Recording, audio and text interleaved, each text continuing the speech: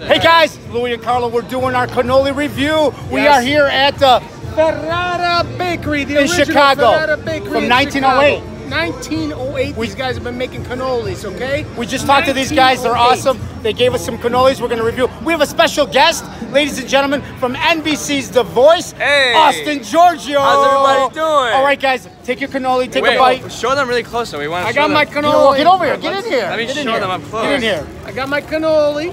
Look Austin's at that. got his I can feel it's gonna be crunchy. Look at that. Look at that. Hey. Oh. All right, take your bite. Hey.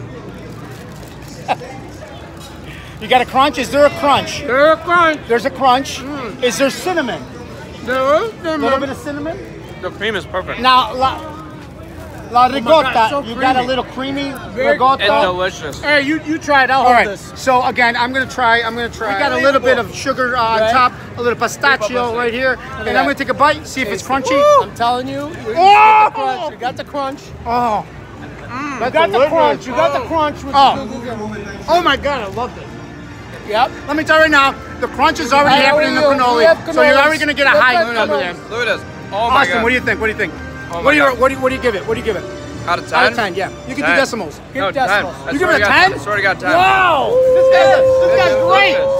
This guy's great. And look at I, the um, end. The end's beautiful. Oh, Louis, what do you got? What do you got? No, What do no, you got? no. I got to I gotta say, I gotta give this a 9.5.